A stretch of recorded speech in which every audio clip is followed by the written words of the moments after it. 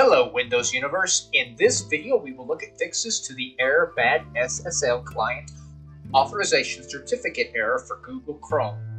If you need a more in-depth look at the issue, we will link an article in the description down below.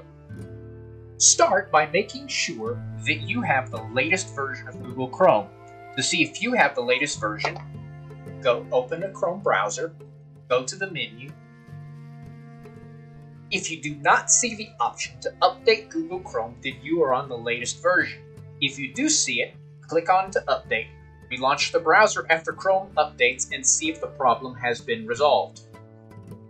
Next, try clearing your browsing history. With Google Chrome open, press Ctrl H. This will open a panel to allow you to clear your browsing history.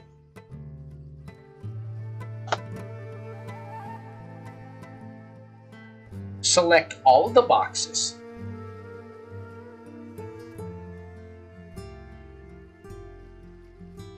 And then choose Clear Data. Restart your browser and see if the problem is corrected.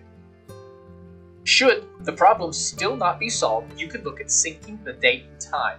Right-click on the Date Time section, go to Adjust Date Time. In the window that opens, make sure your time zone is correct. Then find the button that says Sync Now. After that's done, restart your computer and check to see if the problem is corrupt is corrected. Check for possible third-party conflicts, especially antivirus software. You can temporarily disable antivirus software or VPNs to see if the problem is resolved. If so, you may need to visit your antivirus or VPN settings to correct the issue.